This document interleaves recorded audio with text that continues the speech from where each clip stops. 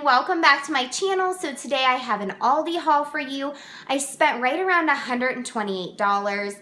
Unfortunately, I don't have like a meal plan or anything ready for you. I kind of just went to the store because I needed to go and we were just getting back from a trip and so I just kind of went to Aldi's. I normally shop at two stores at least.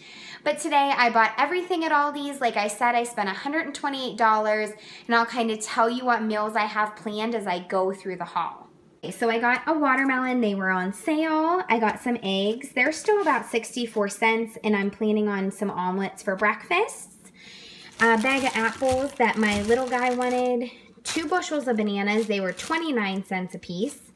Some French vanilla creamer. 2% milk uh, roasted red pepper hummus and some of the like Laughing Cow spin-off cheese in the original. One avocado. They were 99 cents and they all looked super ready to eat, so I only got one.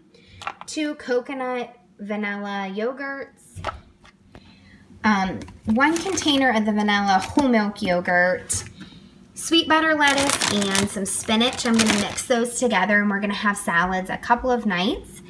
Um, this ketchup was new to my Aldi's. It has no high fructose corn syrup, so I got that because we were running low. Some zesty Italian dressing and some of the hickory and brown sugar barbecue sauce. I got string cheese and some yogurt tubes, blueberries, and cheddar sharp cheddar cheese, and as well as mozzarella cheese, some strawberries and grape tomatoes, whole mushrooms, chocolate chip cookie dough ice cream because it's getting to be ice cream season even though we eat it pretty much anytime because we love ice cream. These creamy coconut organic ice cream bars. If you haven't tried these and love coconut, you should. Some macaroni and cheese, red enchilada sauce. We're to have beef enchiladas. I have some ground beef in the freezer. And so that's to be a dinner for one night, probably with leftovers. Some queso and black beans. Some black olives for pasta salad. Green peppers and zucchini. I'm to do a zucchini and mushroom, like roasted zucchini type of side dish with that. Some cheese for cheeseburgers. I got some burgers. I have some in the couple burgers in the freezer, but I needed these ones to make enough for two meals for our family. Then I got some jumbo cooked shrimp. We're going to have chicken and shrimp on the grill. Some hard salami and some Italian sausage. And then I got this thin sliced chicken breast for chicken and shrimp on the grill. And then this chicken for barbecued chicken sliders. I have some squeezable applesauce. These organic kids fruit snacks. I thought that would be a nice treat for some pool days we have coming up. Some wheat thins, blue corn tortilla chips, regular corn chips, and pretzel thins. These buffalo wing pretzels my kids love so much, and I like to buy them when I see them at Aldi's because they're much cheaper than the grocery store. Goldfish crackers.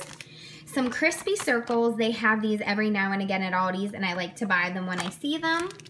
Some oat and flax and instant oatmeal. Maple glaze, pecan, and sea salt. These are like kind bars some chocolate chip mini muffins, and some Cheez-Its. Then I have a lot of bread, hot dog buns for the Italian, um, Italian sausage, potato rolls for the hamburger buns, and sweet Italian rolls for the barbecued chicken sliders, and then bread, and also some English muffins. I also got a case of water and some paper towels. They I didn't put out so here. I spent $128.89 and that is we try and stick to a $400 a month for a family of four grocery budget. Um, and so that is what I spent today. If you guys like grocery haul videos, give this a thumbs up and I will see you next time.